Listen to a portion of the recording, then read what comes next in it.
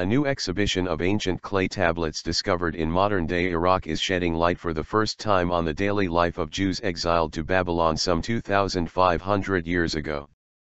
The exhibition is based on more than 100 cuneiform tablets, each no bigger than an adult's palm, that detail transactions and contracts between Judeans driven from, or convinced to move from, Jerusalem by King Nebuchadnezzar around 600 BC. Archaeologists got their first chance to see the tablets acquired by a wealthy London-based Israeli collector barely two years ago. They were blown away.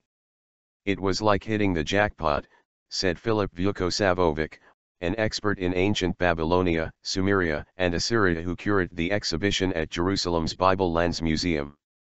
We started reading the tablets and within minutes we were absolutely stunned. It fills in a critical gap in understanding of what was going on in the life of Judeans in Babylonia more than 2,500 years ago. Nebuchadnezzar, a powerful ruler famed for the hanging gardens of Babylon, came to Jerusalem several times as he sought to spread the reach of his kingdom. Each time he came and one visit coincided with the destruction of Jerusalem's first temple in 586 BC he either forced or encouraged the exile of thousands of Judeans.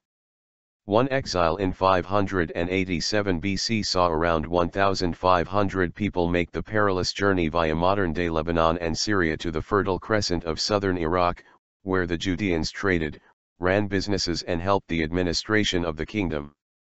They were free to go about their lives, they weren't slaves, Vukosavovic said.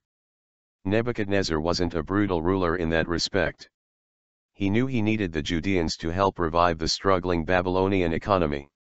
The tablets, each inscribed in Minute Akkadian script, detail trade in fruits and other commodities, taxes paid, debts owed and credits accumulated. The exhibition details one Judean family over four generations, starting with the father, Samakyama, his son, grandson and his grandson's five children, all with biblical Hebrew names, many of them still in use today. We even know the details of the inheritance made to the five great-grandchildren, said Vukosavovic.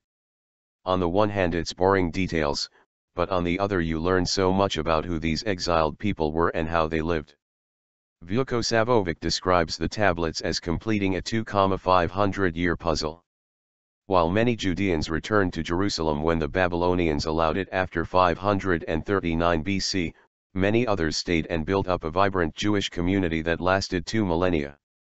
The descendants of those Jews only returned to Israel in the 1950s, he said, a time when many in the diaspora moved from Iraq, Persia, Yemen, and North Africa to the newly created state.